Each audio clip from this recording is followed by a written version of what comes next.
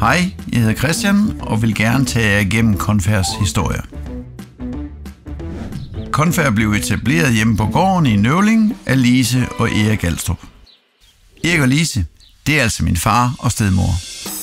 I et par år lavede de trykluftstablere, men i 74 så kom BF forbi med noget nålefilt. De kunne ikke sy, men det kunne vi, og vi begyndte at lave filterposer. Lisa og Erik var alene i produktionen i de første 12 år. Ja, det er mig, der ligger der. Jeg fik en pjekdag for skolen, så vi kunne levere til tiden. Vi byggede til en øvling, og vi blev til et anpartsselskab. Når man byggede til ude på landet, så skulle det kaldes maskinhus. Men helt ærligt, der var mere tekstil end landbrugsmaskiner indenfor.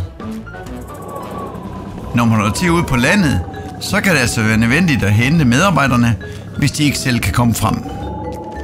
Da jeg var færdig med min uddannelse, så havde jeg et sabbatår i firmaet og hjælp til med syning og modernisering. Men jeg blev hængende, og så var der generationsskifte. Vi udvidede produktionen i Danmark med en sylinje og opstartede sideløbende produktionen i Litauen. Jeg måtte lære syrskerne i Litauen at sy filterposer, for det er noget helt andet end almindeligt tekstil.